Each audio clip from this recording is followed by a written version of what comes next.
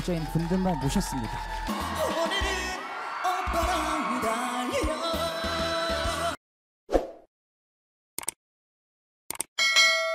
안녕하세요, 팬 여러분. 7월 13일 방송하는 TV 조선 미스터로또가 흥부자 특집으로 진행된다.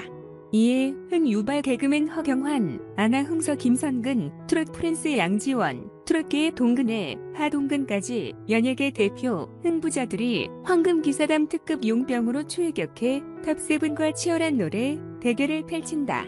탑세븐과 황금기사단의 텐션 폭발 무대가 한여름 시청자들의 무더위와 피로를 한 방에 날려줄 것으로 기대된다.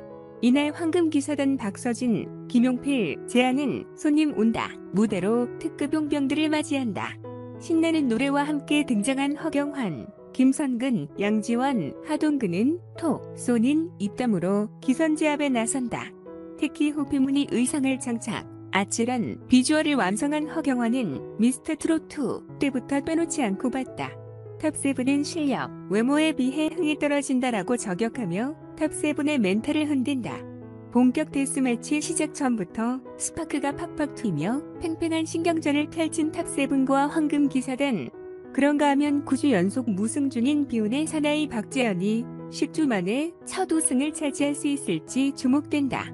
박지현은 4번이나 99점을 받는 등 높은 점수를 기록했지만 대진운이 좋지 않아 현재까지 승리를 거두지 못하고 있다. 이에 허경환이 박지영 1승의 희생양이 될 것인지 주목된다.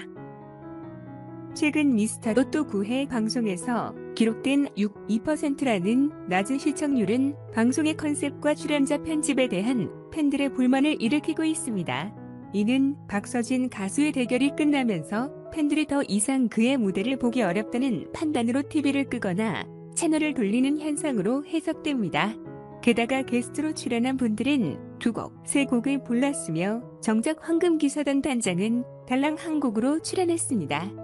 이는 팬들의 불만과 아쉬움을 남기며 시청률 하락의 원인 중 하나가 되었습니다.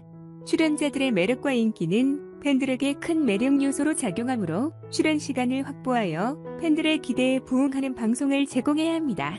현재 상황에서는 미스터 트롯 제작진이 시청률을 올리기 위해서는 무조건 박서진을 계속해서 띄워야 한다는 것을 인지해야 합니다.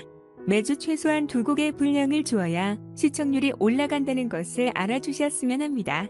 황금기사단과 미스터 트롯 탑7 그리고 용병들과의 힘겨운 대결을 강조하는 컨셉으로 방송의 구성을 변경하는 것이 시청률 대폭 상승에 도움이 될 것입니다.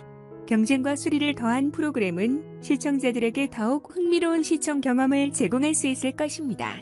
이를 통해 방송의 전체적인 흥미를 높이고 시청자들의 참여도를 끌어올 수 있을 것입니다. 또한 출연자들을 공정하게 관리하여 팬들의 지지를 얻어야 합니다. 팬들은 박서진을 더 많이 보고 싶어하며 분량이 적은 것에 대한 불만을 표출하고 있습니다. 미스터 트롯 제작진은 앞으로의 방송에서 팬들의 의견을 적극적으로 수용하여 시청률을 회복시켜야 할 것입니다.